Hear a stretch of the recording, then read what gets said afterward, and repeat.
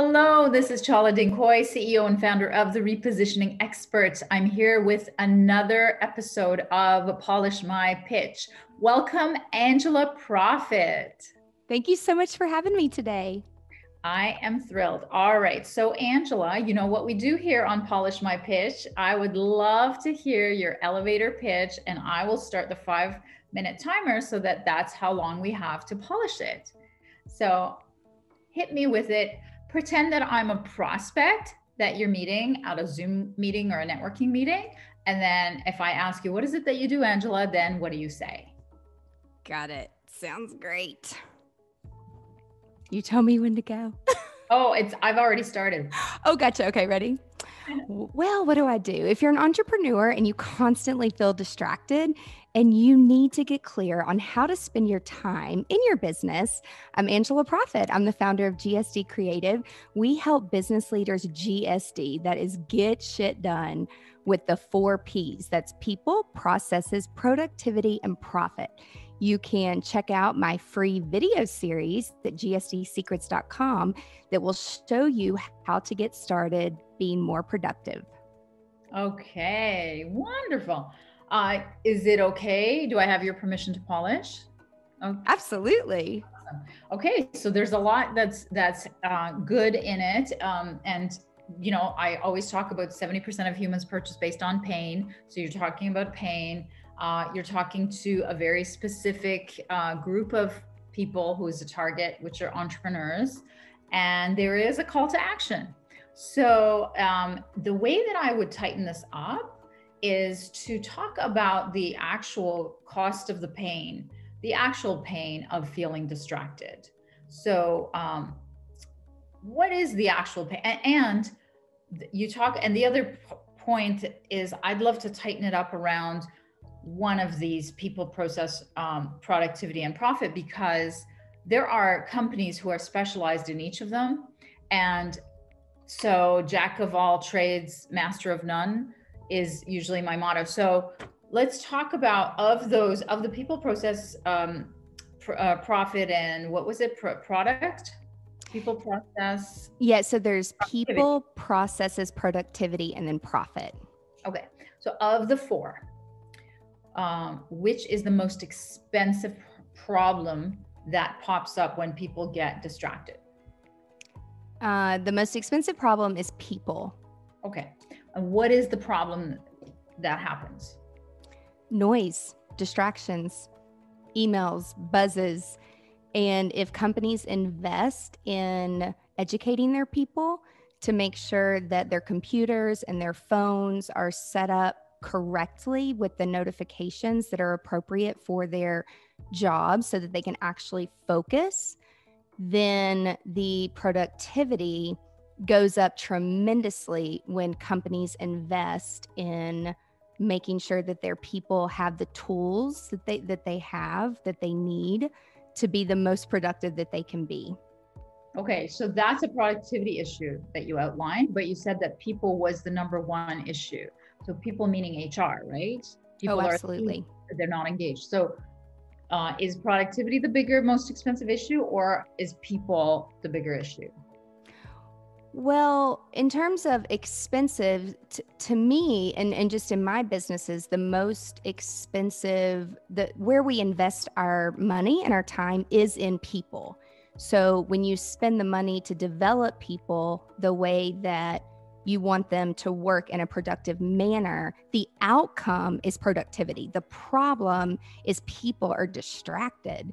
And so, how do we figure out? And really, for us, I, with our four steps and the four P's, is we go in and do a psychology methodology called True Colors and there's four different personalities and we actually break out once we understand and we, we it's like a fun activity i don't like to call it a, a psychology test or anything because there's no right or wrong but you definitely have different personalities so once you know the personalities of your people then you can customize the message the way they need to hear it so they can buy into whatever you're trying to help them or give them tools so that they can actually be more productive because the way that you say it to one personality, a different personality needs to hear it differently to buy into the the the, the widget or the tool or whatever you're giving people to be more productive. Right, but the end uh, goal and the end result and the expensive problem is productivity at the end of the day. Like it doesn't matter if you get to it through processes or people or profitability. The the end result is productivity. So, what is productivity in different um, industries? So, the different industries have different measures of productivity. So, name an industry that you'd like to double your business in. So, for instance, we specifically focus on the creative industry and the hospitality market. Um, that's my background, and so for even if you if you take it down to um, a, a restaurant, a kitchen that does catering, for example, and if you put and there's four personality types that we teach in the True Colors personality type and so, like the golds are type A, the blues are driven by emotion, the greens are driven by numbers, research, and analytics, and the oranges typically the the they're the life of the party. They're the marketing people. They're wanting to make sure everybody's having fun. And so if you have 13 minutes to plate 500 plates of food and get it out to 500 people because that's what the timeline says you would want to pick a person, you would want to pick a gold person to make sure that they because they understand deadlines they work really well under pressure you would not want to put a orange in the front of the line making sure that everything is happening because oranges don't think they're, that they're not working at their best if they were put in a situation like that. And so productivity i mean again it, it comes all down to it really does depend on what industry you're in but the overall methodology can work for any type of industry once you understand your people and what their needs are so they can best thrive. Understood yeah. So eh, let's take and and the reason why i keep pushing to an industry is because the methodology that i teach is called super niching. So it's getting your elevator pitch to be a hook into a meeting and then cross selling everything else so the meeting makes sense only if they can hear that you're a specialist in their industry. And to your point, every industry has different pain. And just like a dentist can help any human with their teeth, you can help any business with their people, but it's not, it, it's a very difficult way to market, to focus, and to sell yourself. So that's why I, let's say it is the restaurant since that is your background, although I'm not sure that that would be the best super niche today in the COVID world. Right. Let's say, uh, so, you know, a lot of my clients are re-niching during this time. So let's say it is the restaurant. What is the, uh, the uh, mark of productivity for them? Is it uh, number of tables that are served? Is it profitability per night? What is their measure of productivity? Well, so specifically, I was in the um, the luxury hospitality market, and so doing really large events and luxury weddings. And so that's more my specialty, but it can apply to a restaurant as well. And it's more when, for example, if we have a luxury wedding and we have 12 hours to load in for an event and we have a go time and it's a seated dinner and it's an hour long ceremony and then we have a seated dinner and that dinner has to go out on time because it's let's say it's a dual entree filet mignon and salmon and the quality of the food is important. And so if those don't go out in time a lot suffers and then people complain because their food is cold.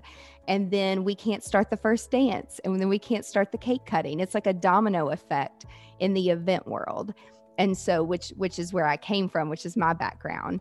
And but for example what restaurants are doing right now in terms of pivoting for covid like our main caterer they also had a restaurant which is two very different things. But something that they've done from a productivity perspective is investing in new software.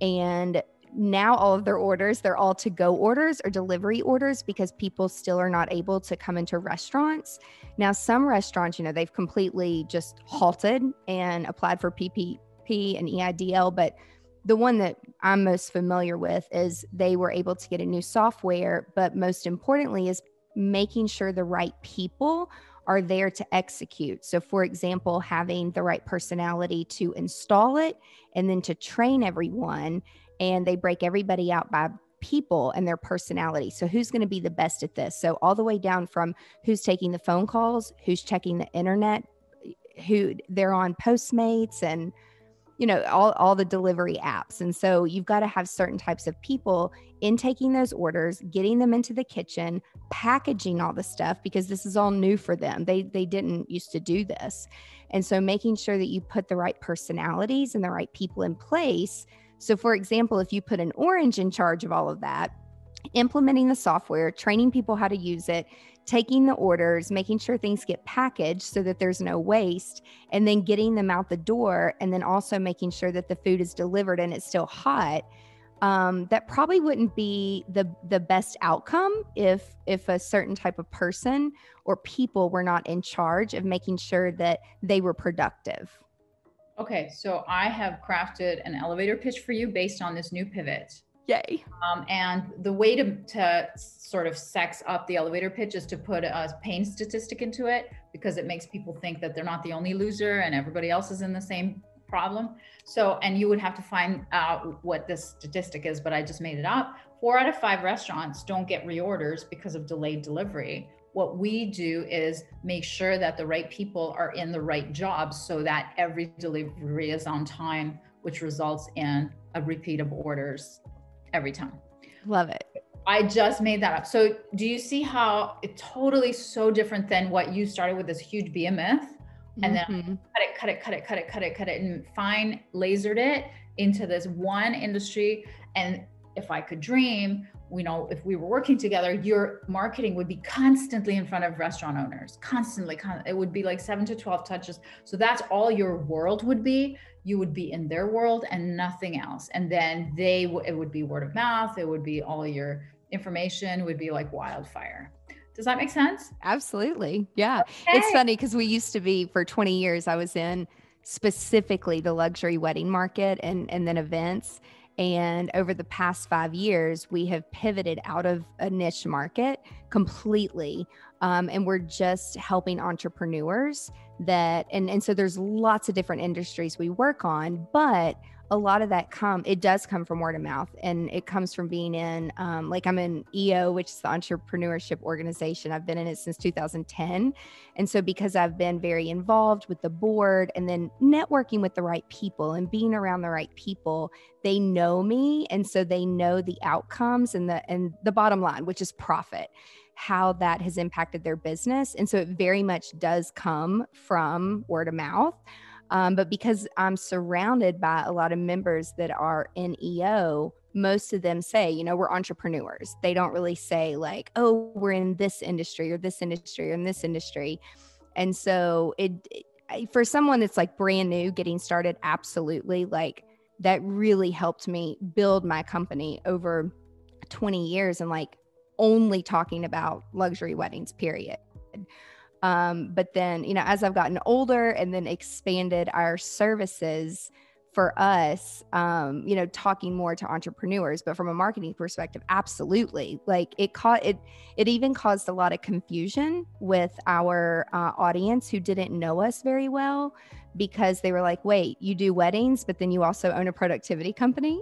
so, I mean, the two directly correlate. And then we had a five year plan to really retire out of the, of doing the events and acting more of a productivity, productivity consultant to the creative and hospitality industry because they're so creative and they're amazing, but they are not good business owners.